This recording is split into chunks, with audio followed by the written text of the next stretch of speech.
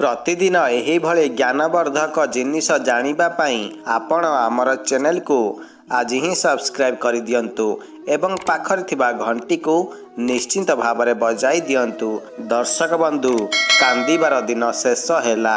କାରଣ ଆଜି ରାତିଠାରୁ ଏହି ରାଶିର କଷ୍ଟ ସବୁ ଦୂର ହେବ ଏବଂ ଦୂର କରିବେ ପ୍ରଭୁ ମହାଦେବ। ହଁ ଦର୍ଶକ ବନ୍ଧୁ ନମସ୍କାର। ଜୟ ଜଗନ୍ନାଥ। ଜ୍ୟୋତିଷ ଶାସ୍ତ୍ର ଅନୁସାରେ ଭଗବାନ ଭୋଳାନାଥଙ୍କୁ ସୃଷ୍ଟିର ଅଧିପତି ବୋଲି ଆମେ ମାନିଥାଉ। ମହାଦେବ ହିଁ ସୃଷ୍ଟିର ପାଳନହାର ବୋଲି କୁହାଯାଏ।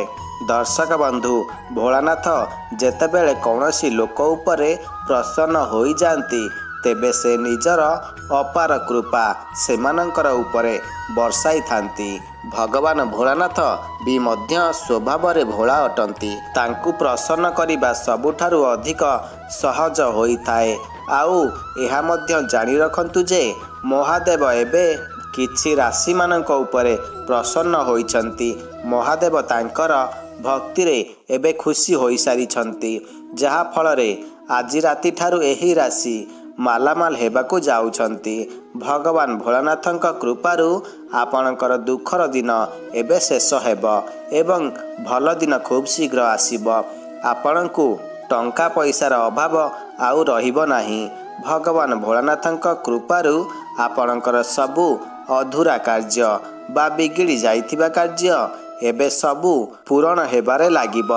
ଆପଣଙ୍କର ଜୀବନରେ ଆଗକୁ ଆସୁଥିବା ସବୁ ଅସୁବିଧା ଏବେ ସେସବୁ ମଧ୍ୟ ଦୂର ହେବ। ଆପଣଙ୍କୁ ଆପଣଙ୍କର ପ୍ରତ୍ୟେକ କାର୍ଯ୍ୟରେ ଏବେ ସଫଳତା ମିଳିବ। ଆପଣଙ୍କର ଶତ୍ରୁ ଆପଣଙ୍କଠାରୁ ଏବେ ଦୂରେଇ ରହିବେ। ସମାଜରେ ଆପଣଙ୍କୁ ଲୋକ ମାନ ସମ୍ମାନ ଦେବେ। ବେପାର ବାଣିଜ୍ୟ ଆପଣଙ୍କର ଦୁଇ ଗୁଣା ଜୋରରେ ଆଗକୁ ବଢ଼ିବ। ଯେଉଁ ଲୋକମାନେ ବେରୋଜଗାର ଅଛନ୍ତି ସେମାନଙ୍କୁ ଏବେ ଭଲ ଚାକିରି ମଧ୍ୟ ମିଳିଯିବ। ଭୋଳାନାଥଙ୍କ କୃପାରୁ କାର୍ଯ୍ୟକ୍ଷେତ୍ରରେ ବଡ଼ ସଫଳତା ମିଳିବ।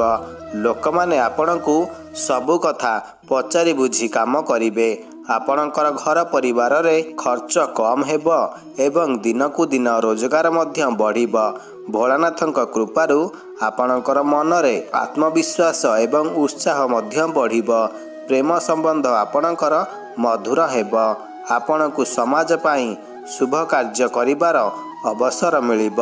ତେବେ ଦର୍ଶକ ବନ୍ଧୁ ଭୋଳାନାଥଙ୍କ କୃପାରୁ ଯେଉଁ ରାଶିଗୁଡ଼ିକ ଏବେ ଭାଗ୍ୟବାନ ହେବେ ସେହି ରାଶିଗୁଡ଼ିକ ହେଉଛନ୍ତି କୁମ୍ଭ ରାଶି ମିଥୁନ ରାଶି କର୍କଟ ରାଶି ସିଂହ ରାଶି ବୃଷ ରାଶି ଏବଂ ତୁଳା ରାଶି ତେବେ ଦର୍ଶକ ବନ୍ଧୁ ଆପଣଙ୍କୁ ଅନୁରୋଧ ଯେ ଆପଣ କମେଣ୍ଟରେ ଜୟ ଭୋଳାନାଥ ବୋଲି ଲେଖିଦିଅନ୍ତୁ ଯାହାଫଳରେ ଆମେ ଜାଣିପାରିବୁ ଯେ ଆପଣ ଆମର ଭିଡ଼ିଓକୁ ଶେଷ ପର୍ଯ୍ୟନ୍ତ ଦେଖିଛନ୍ତି ବୋଲି। ତେବେ ଦର୍ଶକ ବନ୍ଧୁ ଯଦି ଭିଡ଼ିଓଟି ଭଲ ଲାଗିଛି ଗୋଟିଏ ଲାଇକ୍ ମଧ୍ୟ କରିବେ।